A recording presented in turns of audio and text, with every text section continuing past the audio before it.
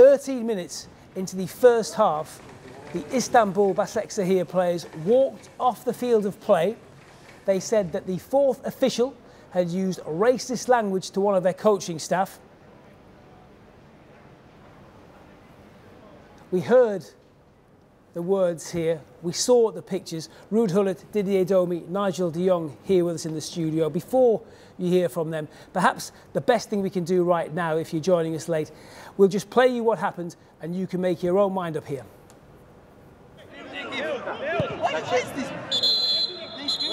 Wait, wait, wait.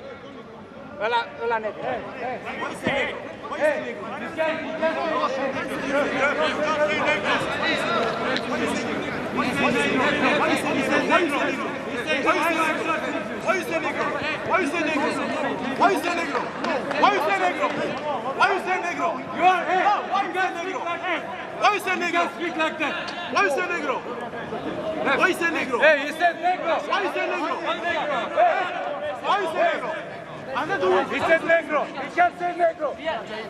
Say negro. Please go. But why that negro? Why is that negro? Why is that negro? Why is that negro?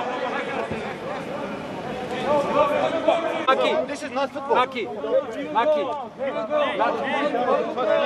Why you say good Cut him out, Cut him out. We can play with this. Let him go. Red card for fourth official. Red card for Hey, you got the Svet, best way. Go out, please. Please, we don't accept you. We don't accept you. We don't accept you. We don't want you. You are racist. You are racist. We don't want you. Because of you, a friend cut When he's mentioning a white guy, is he saying this white guy? Because when he mentioned a black guy, he says this Negro.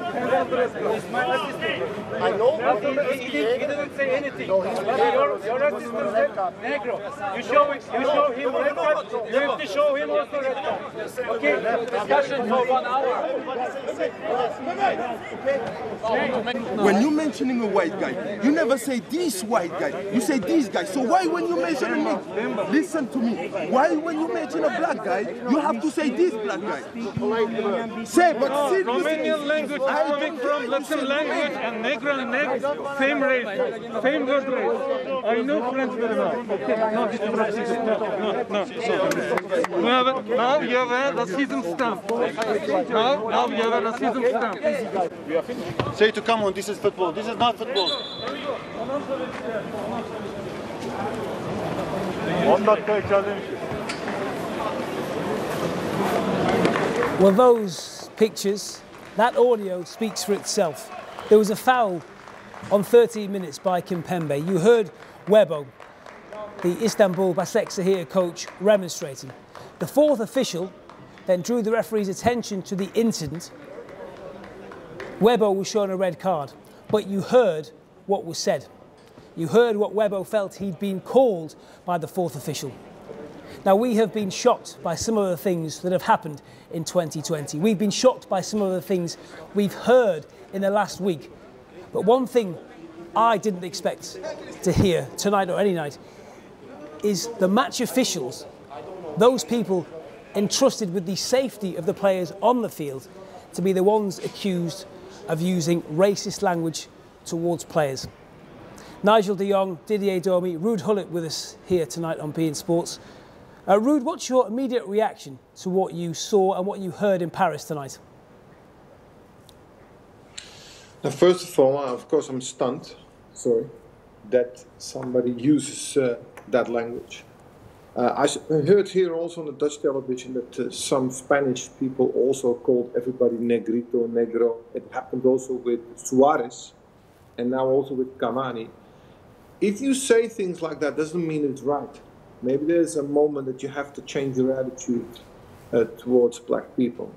The good thing is, is that Paris Saint-Germain players reacted immediately. Saw Mbappe immediately saying that, hey, we called him a Negro, and we have to go out. So means that the solidarity among the players is great. I have to also uh, give credit also to the to the officials also of the Turkish team who immediately stu- stood up for their uh, players. and That we don't accept this.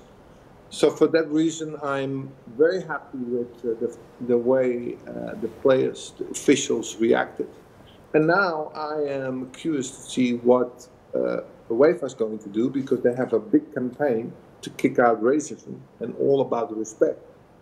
So let's see what's coming out of that. I think that UEFA will handle this in a proper way and uh, make an example of this. Didier? But we, we we already said everything, I think, you know, in the, at halftime.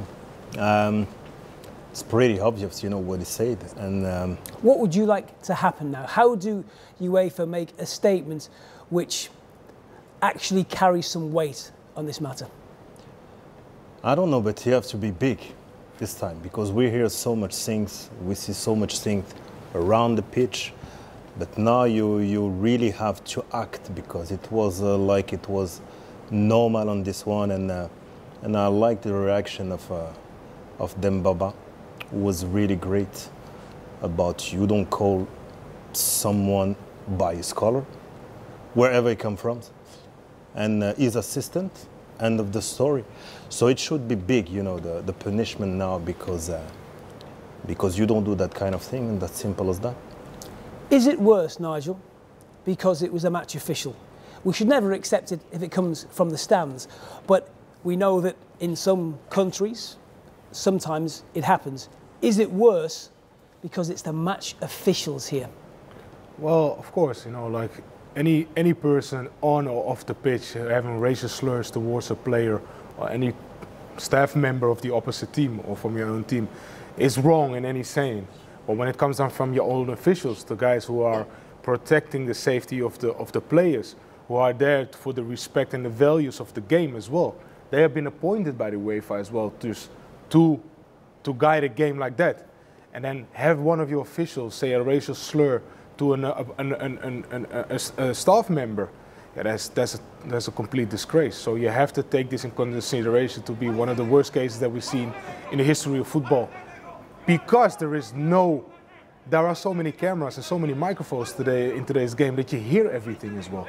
So I think the only punishment for is if he's found guilty in, of course, the investigation that they will have the UEFA, because they have to hear it from his side as well.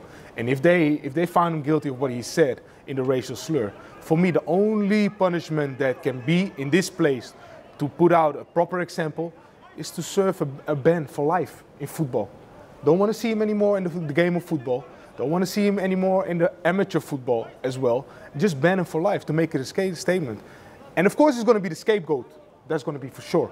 But the UEFA got to make a statement. What Ruud said as well, with the no to racism and the respect campaign that they have, they have to stand up for this. What about the point Ruud made about that people may say that in some countries, language like that isn't seen as offensive? I, I understand, and of course I hear it around me as well because I play with different kind of players and different kind of uh, staff members as well from different countries. But it does, that doesn't justify for you to say it out loud. It doesn't justify for you to say it because it is in, an, in a way for you thinking that you not respect the oppi- opposition or another another team member. So this all has to do with education. Hmm. Everything is education. When the UEFA educate their own people they appoint, and that is referees, there's employees inside the, the, the, the, the organization, and it has to come from the top. The only way you can change this racism at the moment is that you change at the top. More diversity, more education, and then it has to come from the top down to the bottom. What Rudy said as well, you can't stop, you can't start from the bottom. This has something to do with education. You have to start from the top. Change the way how we use the language. Change the way how we see each other, the respect that we have towards each other. So for me, this is a great statement from both Basaksehir, but also for Paris Saint-Germain. Just to back Bas- Basaksehir up as well. You know, seeing like we unified as a whole community in football as well, and just step off. Step off the pitch, make an example out of this, and he's gonna be the scapegoat. He's gonna get a lot of stuff, you know, towards him. But I mean, you have to set a proper example, and the UEFA have to do it. So, Is it as well. concerning, Didier, that it was the players who had to take this into their own hands? It wasn't the officials, it wasn't UEFA, it was the players who had to make a stand themselves. Th- th- that's why I told you I like the reaction of Demba Ba. You know, came out from the bench. You know, was very brave and courageous. The, the thing is that it's always education, but it's just re- re- reverse the situation. If the official was a, a, a football player and he was on the bench and he was called up by his colors, how would have reacted? You understand what I mean? So this is the whole point. So it's you, you, you never point out, especially if you're UEFA, if you're a big organization, they have to know that they don't do that. If they were at this place on the bench, he wouldn't have liked being calling by his color. But he would never he would never understand it because he never grew up at the opposite color of his skin. You understand? So he would never understand what it feels to be called that name. But he, he, would, he would have had a reaction. Yeah, of course he had to have a reaction, and that's that's what you said as well. It's about education, right? Exactly. Everything is about education. How do you how do you handle a situation that is now on every front page news by tomorrow? Yeah, on every channel in social media. Yeah, it's going to be the talking point. Forget about football. It's all about the racism right now at the moment. How are you going to change forward? How are you going to how are you going to set the tone towards the near future as well? For to kick this racism out from your own officials, from your own employees. And I think the, the, the solidarity that, that has been shown today, you know, and the reactions that we already see on, on, on social media channels, on different outlets, is so unified that everybody has to ha, have to have a reaction. So for me, they have to do something right now, and I'm really curious what Ruud as well said. I'm really curious what UEFA is going to do now. As you said, Nigel, back page, probably the front page of every newspaper tomorrow, isn't talking about Manchester United being eliminated, about Barcelona losing at home. This is the story which is making headlines tonight. Uh, Istanbul Basaksehir tweeted this, as you can see, 48 minutes ago, simply, no to racism, they said. Uh, Raheem Sterling, of course, who's been on the wrong end of this, uh, said that is loud and clear.